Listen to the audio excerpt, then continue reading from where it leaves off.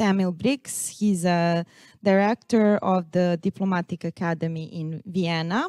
He's a diplomat. He's an Austrian diplomat and historian. Uh, starting in 1982, he worked for the Foreign uh, Service of the Republic of Austria. He was a secretary in the Austrian Parliament uh, for the parliamentary group uh, of the People's Party. Uh, he was the Austrian ambassador in London and Moscow, and uh, he's also representative chairman of the Institute for the Danube region and Central Euro Europe. He became the director of the Diplomatische Akademie Wien in Vienna uh, in 2017. Uh, so Professor Brix, the floor is yours. Thank you so much for being with us and talking about this exciting topic.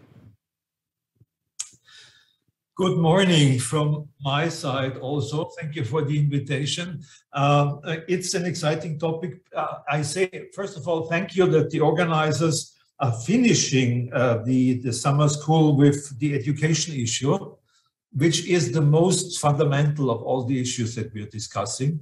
And I'm also happy to say that the organizers are um, bringing it in a connection with political issues and economic issues, which unfortunately in our discussions normally about higher education reform are not they are not really addressed properly, especially in the European Union. So that's one of the points already I would like to make. Uh, from my background, uh, you may uh, understand that I have lived in different worlds. I was politically responsible for the Austrian Ministry of Science when I was head of cabinet of a minister. Then I was working as a diplomat with practical issues of how we can cooperate, uh, also in educational issues. Uh, and now I'm working as a as director of a of a university, of a small uh, postgraduate university. And that's already uh, I got the very strong feeling that higher education has become a very insular world. It's a very insular world, which is not really integrated into the proper changes and transformations we are experiencing. Uh, we can discuss all the reasons. Uh, one of the very obvious uh, uh consequences is all these discussions about um, creating in universities safe spaces, like the American universities are still in this process of creating safe spaces where some issues cannot be discussed from different perspectives or angles. This is one of the symptoms of the consequences of that higher education has become a very insular world. Uh, there are certainly also attempts to make change to this. Uh, and unfortunately, I have to say, uh, the main idea that, we, at least in Europe, we came up with is putting stress on what is called the third mission. The third mission. I'm sorry to say so, but uh, nobody outside of the university world has any idea what third mission might mean. They might think it's going to the moon or to the Mars. Uh, with people. Actually, uh, uh it's already that this sort of title that, that we have found uh, to discuss a very simple problem that we have. That the problem is transmission from the academic world to general public uh, to the discussions of how societies are changing. This is the third mission. Uh, and I would say it is very obvious that uh, a, a, university in the, in in, the for the future has to put a stress on this transmission function. I propose that we find a different title uh, for this uh, for, than, than, than third mission. Um, we know uh, this uh, is especially important where the transformation of society is important. And there, where I think our region, the Central European region, has a specific task in hand, uh, because it's not simply uh, continuing in the in, in, in, a liberal democracy that has been has been developing over at least the time uh, after the Second World War, but there is this sort of coming to understand, analyze, and transmit the transformation issues uh, with academic means, with research, and with teaching uh, in our Central European region in a different way uh, to make sense of what is happening uh, around us. So my first, my first point is already the transmitting knowledge into society uh, is certainly the most urgent task of education for the future. Uh, and this would help us also in this, uh, what I called that higher education is, is, is a very insular world. My second point is about how can we make uh, the education managers and education experts in, in, in Europe aware that the geopolitical and geoeconomic transformations mean also that we have to think about the structure how our universities work and how our academic world works. Uh, let me expand a little bit on this. Uh, we are very proud, many of us are very proud that we have implemented the Bologna system. Many of us are very proud that we finally have a meritocratic, so-called meritocratic system of university rankings. We all know there are various university, international university rankings.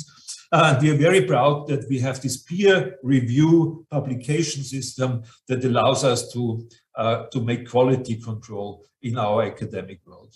But maybe we should ask ourselves whether these geopolitical transformations uh, uh are uh, a very clear indication uh, of the problems of these three elements I mentioned, Bologna, ranking system, and peer review. Uh, and I would uh, really say the education for the future uh, has to make changes here. We know that the Bologna system is actually saying we want to increase mobility. And it's not proven that it has really improved the mobility of, of, of, of, of young people. and secondly, it meant making things comparable. That was the consequence and making things comparable is not very helpful if we if you are dealing with uh, transformation and if you are dealing with uh, uh, plurality, diversity uh, in the given situation.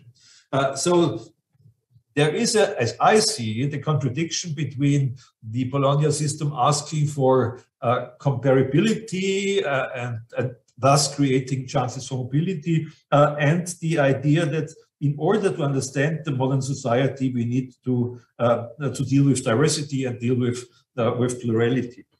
Uh, and the second consequence of the Bologna system, uh, as we all know, is or the objective of the Bologna system uh, is to have more and more academics. Uh, again, it might be for, for, for some societies a, a, good thing that you create the rate of academics uh, if you have the labor market for that. Uh, but uh, you increase the pressure uh, on other forms of education, which I'm not sure this is the right system. Do we really want to uh, achieve that? I don't know. 50% of our of our of our of our young people uh, have an academic education uh, I, am not sure about that, but this is a, is, is a real objective. Um, uh, I would rather say we should invest uh, in the quality and the appreciation of also other forms of education, uh, which are something like which are, ha have to do with uh, uh, with um, um, manual work. I have to say manual work or technical work outside of, of our universities. Uh, so uh, there is a, an obvious problem uh, with, with, this sort of thing. Uh, and you know what's behind that? And that I would challenge. Behind the idea that uh, we have the Bologna system and the re peer review process and the ranking systems is the idea that better education makes societies more open-minded and de more democratic. We have to look into this issue does better education really make societies more open-minded and more democratic? I hope yes. The studies are not so outspoken about this. And what do we mean, what do we mean by better education? If we simply mean bringing more people into uh, post-secondary uh, education systems, we are like trade unions for the existing universities. And I don't think that if we want to improve our system of education, we should become trade unionists for, uh, for the existing university system and the existing academic world. We have to challenge it. But how do we come outside of this box is, is one of the, uh, of, the, of, of, the main issues. Uh, and my, my already final point, I shouldn't be too long, is, a, I think, a rather complica complicated one. um, are we different in Central Europe? Do we have something to offer for the education system of the world? Do we have something to offer which is uh, which is not maybe not unique, but which is which is helpful? Uh, and my impression is from my contact and knowledge of the US education system, higher education system, is yes. Uh, I organized in Vienna two weeks ago a conference about comparing uh, European and US uh, uh, transatlantic relations, how also in the field of, of, of, higher education, we can recharge the transatlantic relations. So not only recharge it with NATO and the political side, but also in the education world. And I was very surprised by the US professors uh, who proposed uh, that we should look, we should understand in Central Europe that we have become interesting for the US uh, higher education system again. That more and more young researchers are looking into the diversity of, of Central Europe uh, in the late 19th and the whole 20, and the 20th century. So this how uh, we dealt with in our area, and we still have to deal with that, uh, with minorities, with diversity, with plurality, has become uh, interesting for the American society. Why? That's very obvious because of the polarization that's happening in the US society at the moment uh, and the uh, overextension of, of, of the issue of identity politics, uh, certainly also in the US context. And this is not only a US uh, problem, but I think this is a global issue where possibly some of the traditions and experiences uh, of, of Central Europe, how to uh, live in times of identity politics and how to accommodate plurality can be helpful. So there is a, a, new US interest in Habsburg studies, which is interesting. Uh, and I think our Central European uh, contribution to education for the future could be uh, uh, uh, Habsburg studies and what it meant for our nations, states, societies, minorities, and so on. So there's a lot of, of, of issues which is in there. and the, the, the, background of this is actually, and this is to my mind also an experience which we had to go through in Central Europe more than other parts of the world uh, is the issue uh, how do we work with the humanities, the crisis of humanities in the academic world. Uh, it's interesting to see that all our politicians are all the time talking about technology, engineering. They're talking about the so-called what we call the MINT subjects, so mathematics and, and all these sort of subjects. Uh, uh, and humanities somehow become, well, they become flowers, nice very colorful flowers somewhere uh, in the at, the at, the edges of the academic world. Uh, and uh, the only thing that, that, counts is maybe future research or uh, some sort of, uh, of philosophy.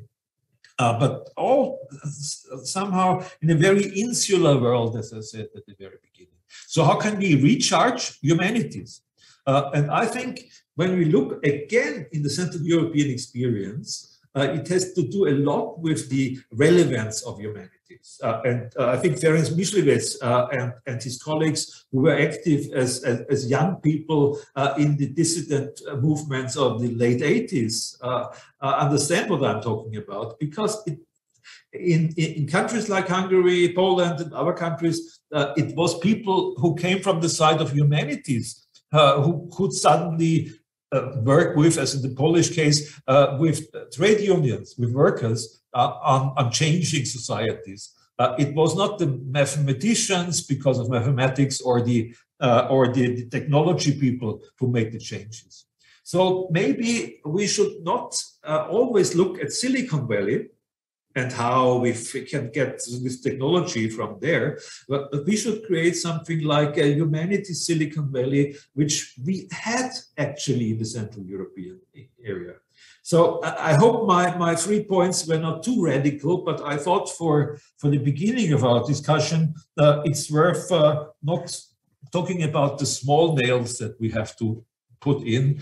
Uh, I always follow the Austrian psychologist Paul Watzlawick, who said, uh, if you are a hammer, uh, all your problems look like nails. Thank you for your attention.